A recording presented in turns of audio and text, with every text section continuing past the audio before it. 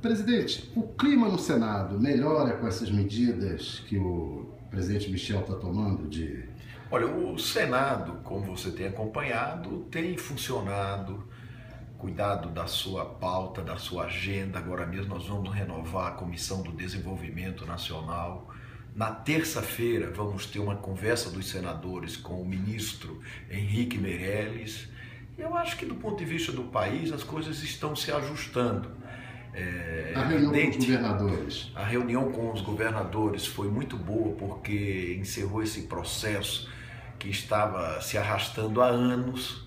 Nós já tínhamos trocado o indexador, mas precisava concluir a renegociação. Isso ajuda ele aqui. Os governadores ficaram satisfeitos, isso é evidente que não aprimora de uma vez só o pacto federativo, mas sem dúvida nenhuma que distensiona do ponto de vista da relação.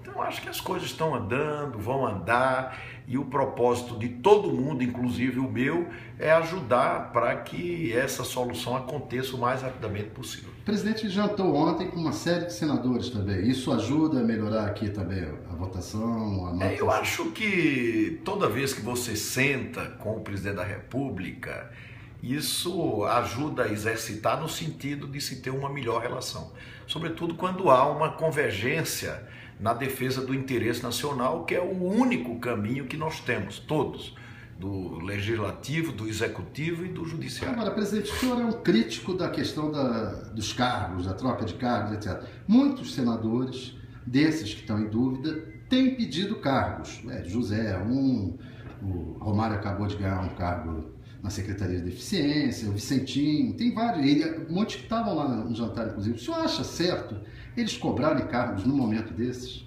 É, mas evidentemente que não há clima para que essa cobrança aconteça. A conversa ontem foi uma conversa muito boa, informal, ajuda a estreitar a relação e especificamente não se tratou absolutamente de nada disso e não poderia se tratar.